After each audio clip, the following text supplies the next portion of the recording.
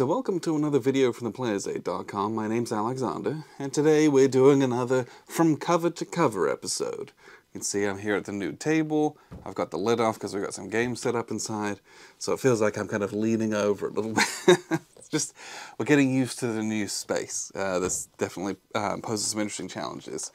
Uh, but uh, today we're taking a look at a book called The Death of Napoleon by Simon Leys. At least I think it's pronounced Lees, it could be Lays, uh, but we're going to say Lees, L-E-Y-S, just for the sake of convenience. Um, this is, uh, gosh, this is a more recent book compared to some of the other ones that I've read.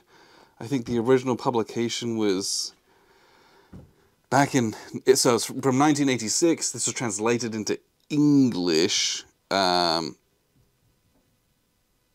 um, back in 91. This particular edition from New York Book Review is from like 2006, I think. Um, but I stumbled across this book from, oh gosh, I don't even remember where, but I saw someone had mentioned it in a post on the internet. And I, it sounded very, very, very interesting. And so I picked it up. It's a very short, it's effectively a novella. Um, like it's 130 pages, I think, uh, and it's very, there's a lot of margin space. So it's a very quick read, two days. I'm not like a massive hardcore reader, but it's very quick to read. Uh, but let's talk about what this is. Uh, so this is a book uh, of a, a, a, piece of alternate history, uh, but it is literary historical fiction. So um, Napoleon in this um, he escapes uh, from his his kind of final exile uh, after the end of the Hundred Days campaign, uh, and you know he, he's exiled out on his island prison. Um, he escapes from that, and he's kind of whisked away by kind of this secret network of like uh, you know unseen benefactors, so to speak, uh, and it is uh, his journey as effectively an unknown man uh, re kind of retreading some of his last days and what post-Napoleonic France looks like. Uh, and, and, and a part of me was like, is this a... before I read it, it was like, it sounds a little bit farcical, it sounds kind of a bit crazy and zany, but uh, what it really ends up being is that it is a very, um, whilst short, a really nice, short, kind of rich exploration of themes like fate and destiny and death and glory uh, and and what it is to kind of outgrow your reputation or conversely when your reputation outgrows you um, there are themes of um, memory of loss um, of uh, all sorts of things in here and it is just a fascinating little book. Um, I haven't had this much fun with a book in a while even though it's not like a comedy it, it was a really enjoyable thing to read. There are moments of it that are uh, stunningly funny, um, and I don't want to spoil those for you, but yeah. He goes back, he like, it's on the back of the book, but basically, like Napoleon is like traveling by sea, and then he gets diverted, and he ends up like taking a detour to visit the battlefield of Waterloo. And it is such a, a, a wonderful um, piece in the book. It, it, it's, it's got some great characters and some great, very background characters, but what they represent uh, is wonderful. There's really great funny moments of it. There are some moments that are truly tragic and horrifying, though. Uh, and, and the way that the book kind of puts some of those in, in such a short space, is really quite masterful. Um, and I think that's one of the things I really enjoyed about is how much they pack into this without it feeling um, kind of fabricated um, in, in, any in any way. Like the story itself is very natural, and the things that happen um, are reflections of history, but on a very small and micro scale. And being able to compare and contrast the two of those about real events that actually happened, even going back to things like the French Revolution and the small little meetings that are had, uh, the covert uh, nature of some of the things that have to happen in the book, the you know different uh, betrayals or loyalties, identities, things like that that go on on a very small scale in here are wonderful. There's there's parts where Napoleon tries to kind of well he like takes control of a failing business and the business itself is again it's like a farce but it's meant to be to kind of but he treats it like he would have done an old battlefield and his command and how he goes about doing these things. And th- that that scene over candlelit maps of the distribution of pumpkins and squashes is just it's stunning. It's it's it's a wonderful piece of literature. Um, but at the same time uh, you get these like really wonderful moments in it. But at the same time there are um, some really very serious and quite heavy moments and some heavy themes in it. Uh, it's called The Death of Napoleon for a reason. Uh, spoiler alert, he dies at the end. Uh, he's dead. I don't know if you knew that. He's already dead. Uh, he dies at the end of the book. Uh, but also, there is. Now, we're going to get into spoilers. If you don't want spoilers, turn off the video, you know? but uh, he. Th- there's a part where, like, his body double who took his place in prison in exile died prematurely and he's like he's like frustrated that that guy died because now everyone thinks Napoleon's dead instead of in exile. So his glorious return can't happen because they think he's all dead and they all kind of give up on the Napoleonic ideas and they give and it's like and then there's there are these wrestling moments internally with him about his identity and who he was and who he is now and how those are not the same things that really are they make it so much more than kind of a wistful um, reflective novel or novella. There's there's some really great meat in this about kind of the human condition and the human identity and what it is to um, have experiences kind of outside of what your life was historically. It's very interesting uh, how they kind of cross some of those things. Uh, so I cannot recommend this highly enough. It's absolutely wonderful. But uh, if you want to read this, um, I, I, like I said, very highly recommend it. But if you find yourself reading something like this, what what have we got some for some war games? Well, we got some very obvious ones. Um, at least, and, and again, these are from my collection. I don't have a ton of Napoleonics in my collection. I got some. Uh, I would like to do more over the course of time. Some of them are very big, some of them are very complex, and we just, you know, I can only have so many games, and we just haven't got there yet. But I, I enjoy Napoleonics. I think it's fascinating. I know enough about it where I'm interested in the topic, you know, there's real experts out there, but like my very cursory passing knowledge of some of the broader strokes of um, the Napoleonic Wars lead me to want to know more about it, if that makes sense. So, the one of the early set pieces in the book is him visiting the Battle of Waterloo, at least the fields and the hills and uh, the, the the churches and the farms and all that. So, let's talk about what I have for a Waterloo game. I don't have a ton of them, but I have some. Uh, so first off, we have um, from C3I. Uh, this is from issue 33, and this is the, the little box that they were doing for a while. Um, so it's Waterloo Campaign 1815 uh, from Mark Herman. This uses the Gettysburg system, uh, but it's a little bit of a higher level, and it's a bit bigger. It's a full map instead of a half map. Um, and, and it's the Waterloo campaign, but it was in a magazine.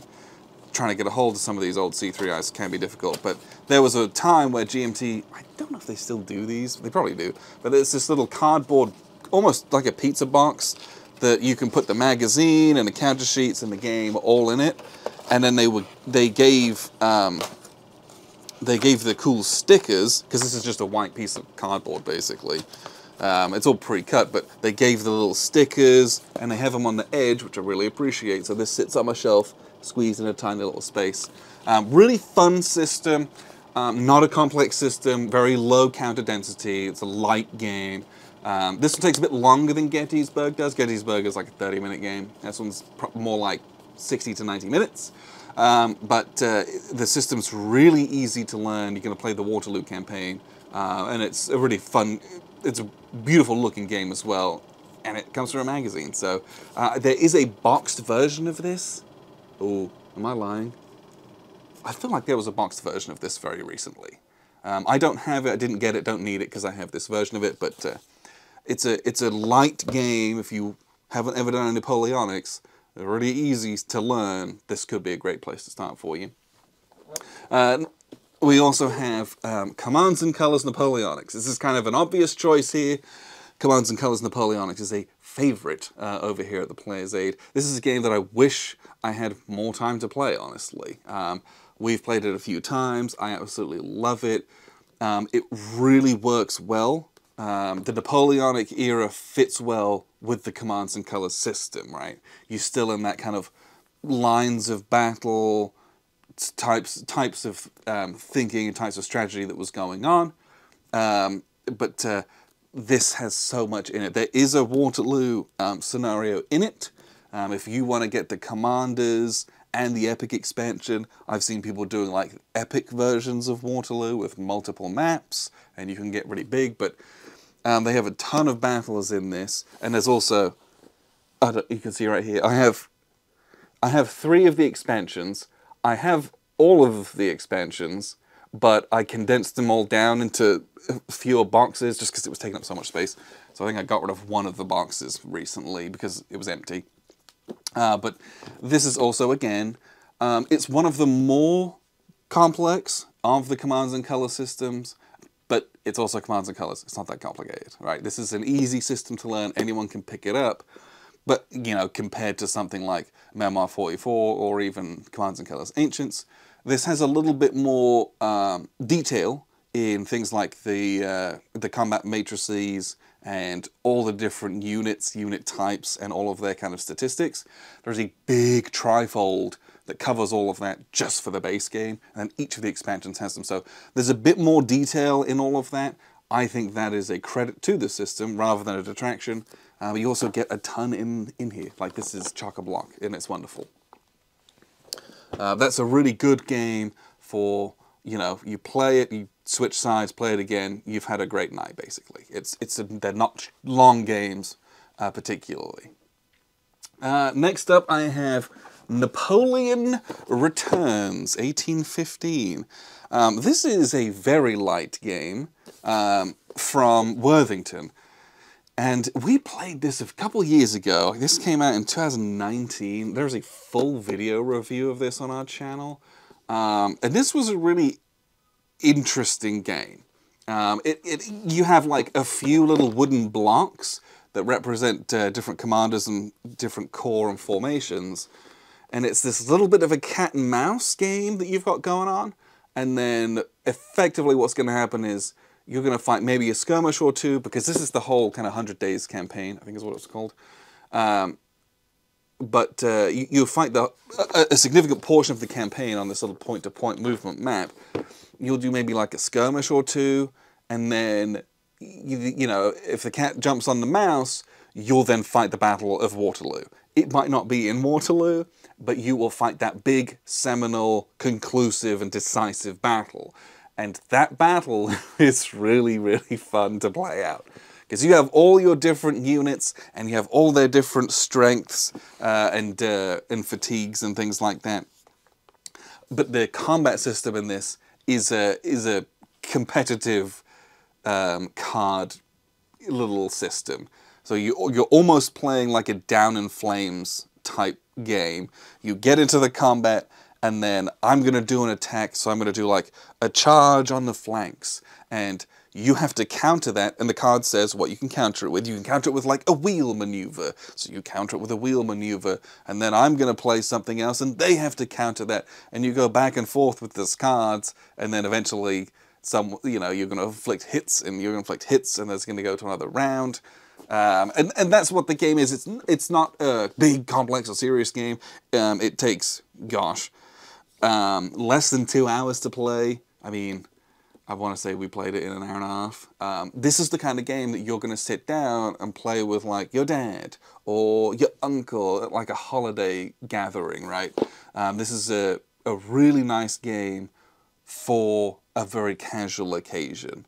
Um, and uh, I'll, I'll be honest, a lot of Worthington's games kind of fit that bill where they are eminently playable and the complexity level as well as the play times Neither of them are scary, and as such, they're a really great introduction to kind of historical gaming or wargaming. So Napoleon Returns is really good, uh, really good option for that. And finally, we're going to talk about a couple games that I have not played. Um, one of them is uh, Fallen Eagles 2, uh, Waterloo 1815. Um, I from Hexasim. I very recently purchased this game. Um, it has stunning components in it.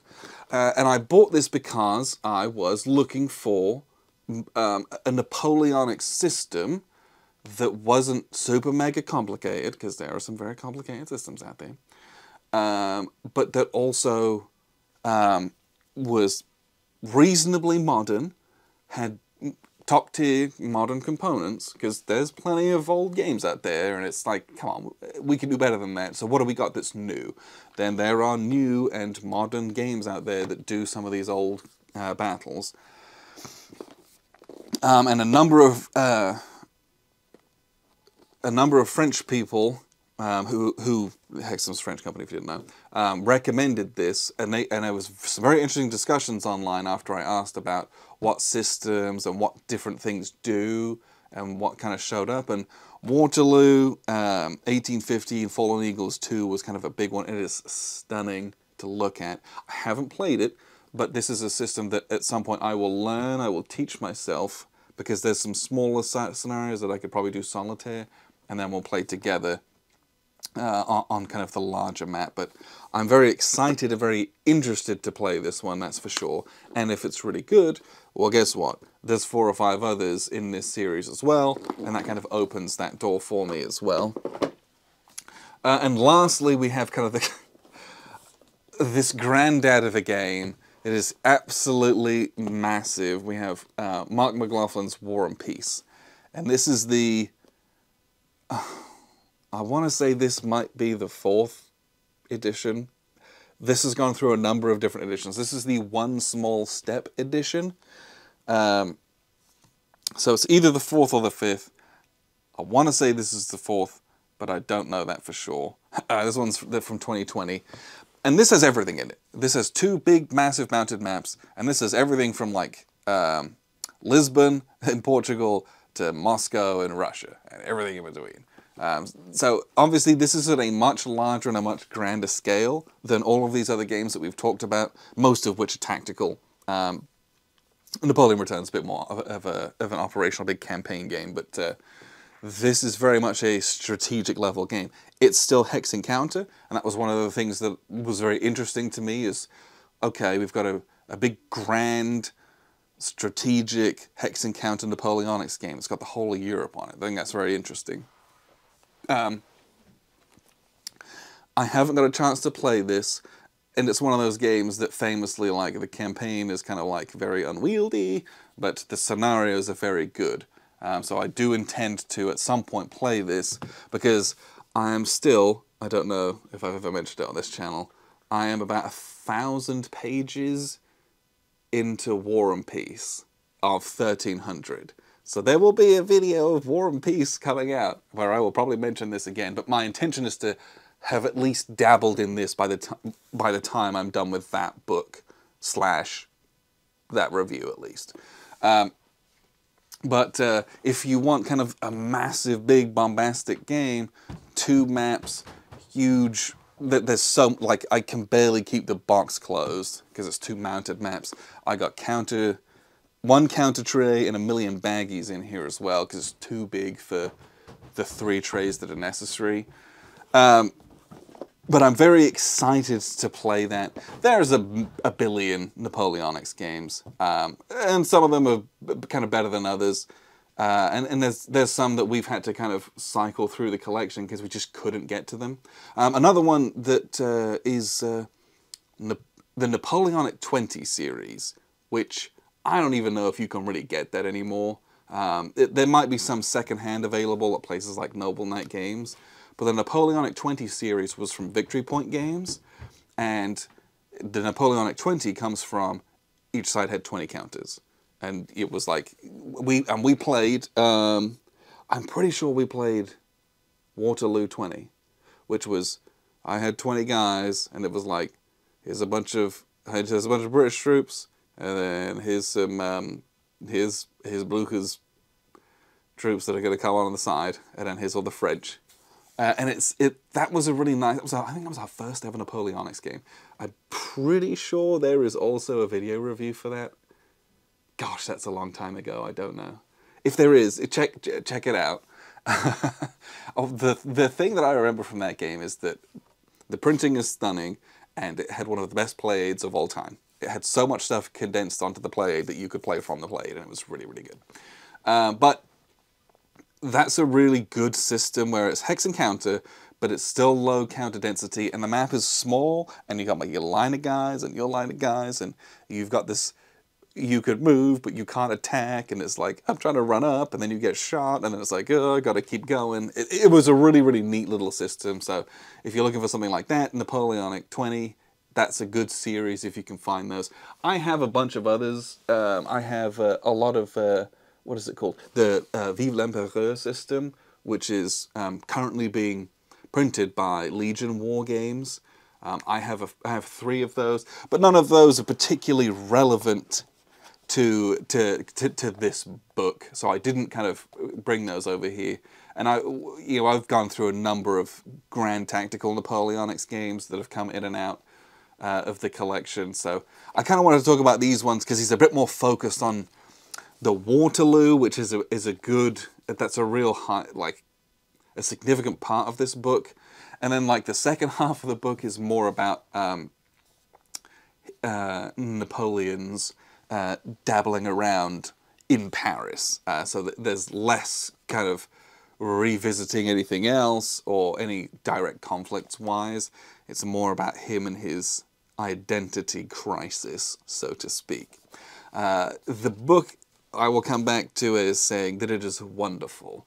Um, I do appreciate a good, um, really meaty and punchy novella like this to help you maybe get out of a reading slump or to read between two large tomes. Sometimes you want a little bit of literary fiction, and this time it's historical fiction, just to like wet the palate between maybe two large non-fiction books as well. There's, there's plenty of history to read, but I do think that there is a lot of merit in um, in literature. But that's you know that's my personal taste, that's for sure. So, uh, The Death of Napoleon from Simon Leys. I very highly recommend this.